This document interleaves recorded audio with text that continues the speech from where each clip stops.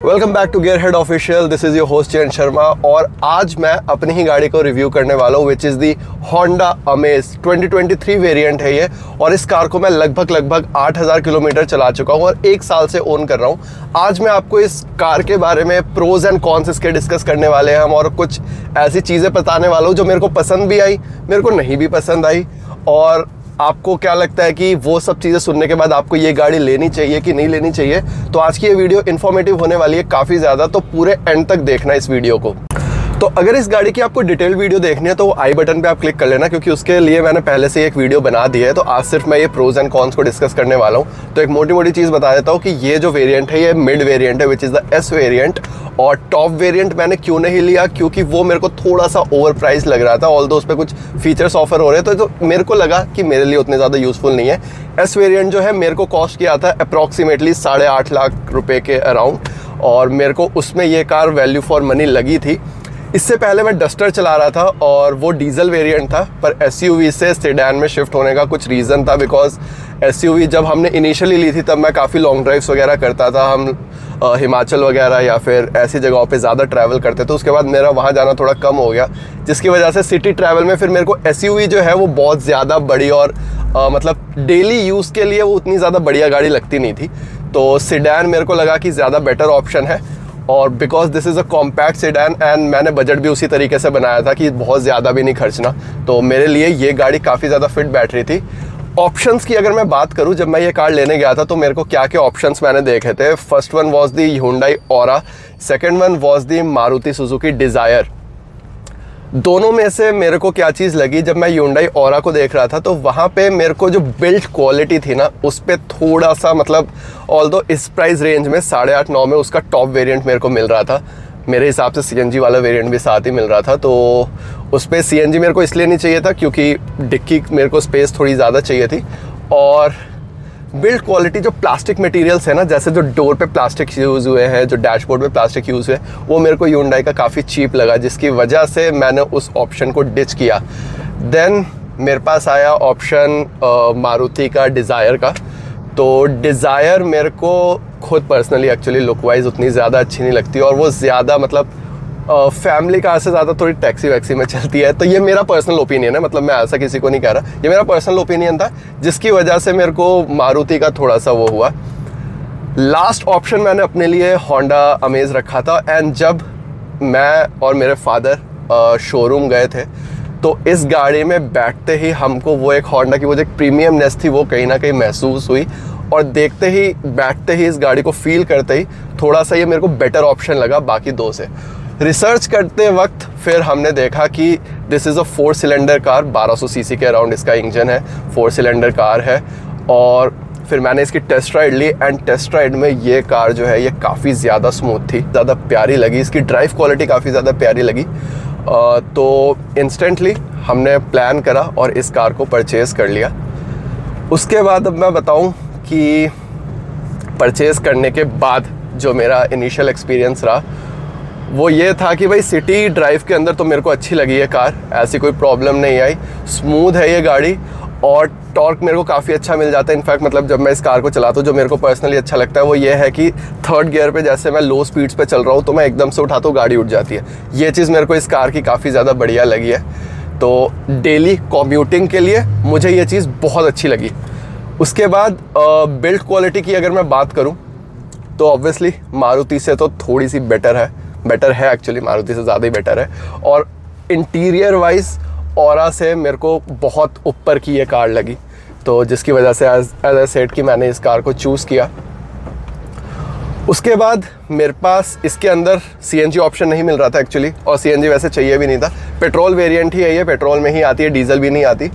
तो मैं बताऊँ इसके एवरेज के बारे में अगर तो इनिशियली विदाउट फ़र्स्ट सर्विस मतलब फ़र्स्ट सर्विस से पहले, मेरे को इसके अंदर अप्रॉक्सीमेटली स्टार्टिंग स्टार्टिंग में 11-12 की एवरेज मिल रही थी। एंड जो सेल्समैन था, उसने भी यही बोला था कि, सर, आपको सिटी के अंदर 13-14 तक की एवरेज मैक्सिमम मिल जाएगी।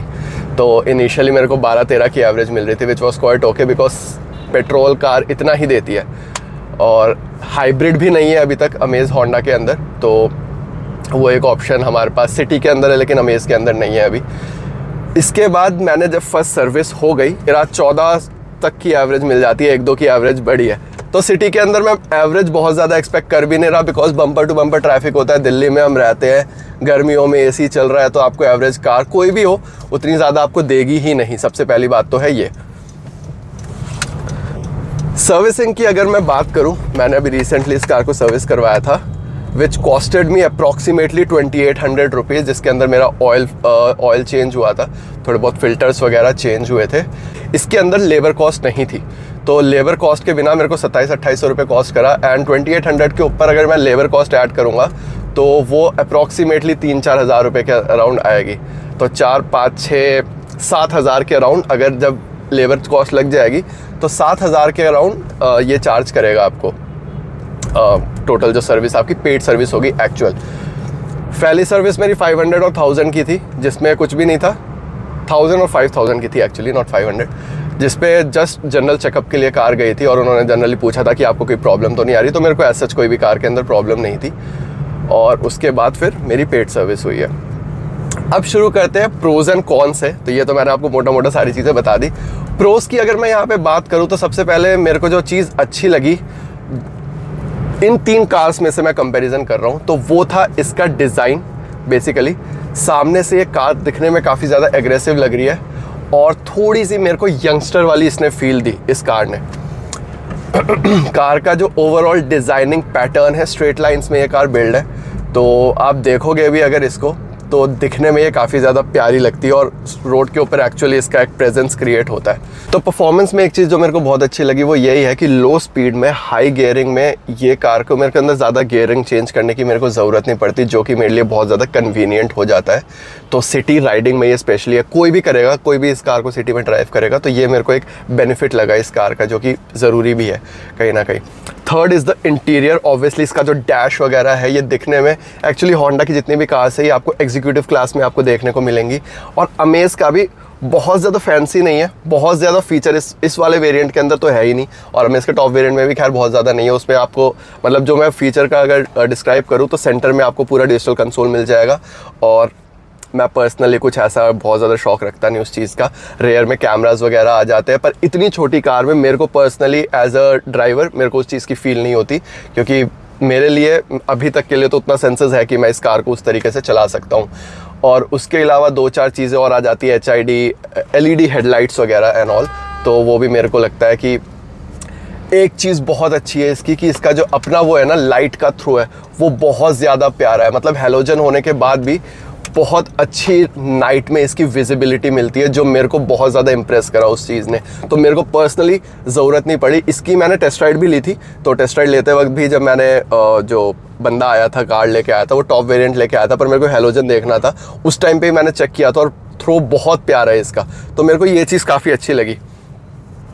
आ, बाकी मैं बताऊँ तो ओवरऑल मतलब जितना आप स्पेंड कर रहे हो उस हिसाब से दिस इज़ क्वाइट ओके मतलब मैं ये नहीं बोलूँगा आज के टाइम पे तो मार्केट में बहुत सारे ऑप्शन आ चुके हैं और ये लोगों की पर्सनल चॉइस होती है because market is more lead towards the you know S तो बेसिकली हम कॉम्पैक्ट एस भी लोग आजकल ज़्यादा लेना पसंद कर रहे हैं टाटा पंच है और मारुति की फ्रॉन्ग्स है। बट मेरे को डिज़ाइन वाइज थोड़ा सा मैं सिडैन की तरफ़ इंक्लाइंड हूँ तो इसलिए मेरे को ये ज़्यादा पसंद आई। हैचपैक में मैं इसलिए जाना चाहता था क्योंकि मेरे को बूट स्पेस चाहिए था तो इस कार का बूट स्पेस मेरे को काफ़ी ज़्यादा बढ़िया लगा जिसकी वजह से भी मैंने इसका ऑप्शन को चूज़ किया जो कि अगेन इसके प्रोज में आ जाता है। तो ये कुछ कुछ चीज़ें हैं जो कि मेरे को बढ़िया लगी। अब मैं इसके कौन सा आपको बता देता हूँ कि जो हो सकता है आपको भी आ, लगे कि भाई ये चीज़ शायद इम्प्रूव हो सकती है। मैं इसके साथ लॉन्ग टूर मार चुका हूँ। मैं इसको हिमाचल लेके जा चुका हूँ। तो हाईवे पे हाई स्पीड के अंदर कार में काफ़ी नॉइज़ आती है। तो वो मेरे को लगा बाहर की नॉइज़ बहुत ज़्यादा है इस कार के अंदर। After hundred one ten car के अंदर बहुत नॉइज़ आती है। उसके लिए अगेन मतलब अगर होंडा इसकी डैम्पिंग थोड़ी सी और इम्प्रूव कर देता है या फिर अगर आप लेने के बाद चाहते हो तो आप आफ्टर मार्केट डैम्पिंग करवा सकते हो। सेकेंड थिंग इज़ मैं इसको थोड़ी सी टॉप स्पीड भी देखना चाह रहा था। Although this car is limited to 150 kilometres वहाँ पे इस कार की स्टेबिलिटी उतनी ज़्यादा नहीं है। This car is stable at 110 120 130 तक भी ये स्टेबल है। 130 क्रॉस होते ही कार का पता लग रहा था कि भाई ये बहुत ज़्यादा स्टेबल नहीं रहने वाली है गाड़ी। तो मेरे को सेफ़ सा फील नहीं हो रहा था। ऑल ऐसा भी नहीं था कि कार आउट ऑफ़ कंट्रोल है बट स्टेबिलिटी नहीं लगी मेरे को टॉप स्पीड पे।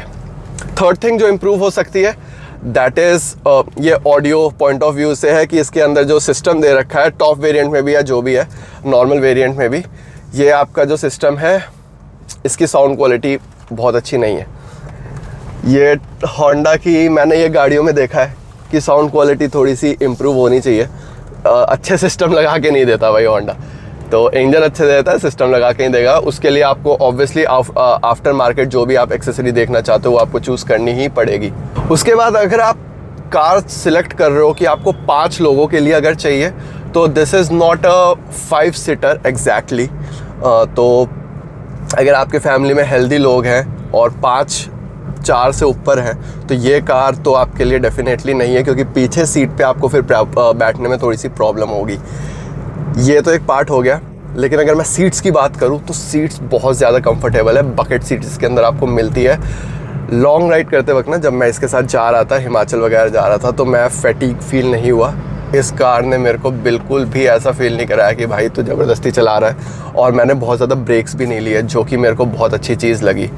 तो डस्टर ऑब्वियसली एक एसयूवी थी but because S are not known for comfort sedans are known for their comfortability तो उसके अंदर भी जो सीट्स थी, मैंने कुछ आफ्टर मार्केट ज़्यादा कुछ करवाता नहीं हूँ, मेरे को उस तरीके का शौक नहीं है। इसके अंदर भी सीट्स लगी हुई है ये, मैंने जो अभी लगवाई है तो इट लुक्स नाइस तो ये इसके अंदर कंफर्ट काफ़ी ज़्यादा अच्छा आ जाता है। डस्टर के अंदर वो वाला कंफर्ट नहीं था।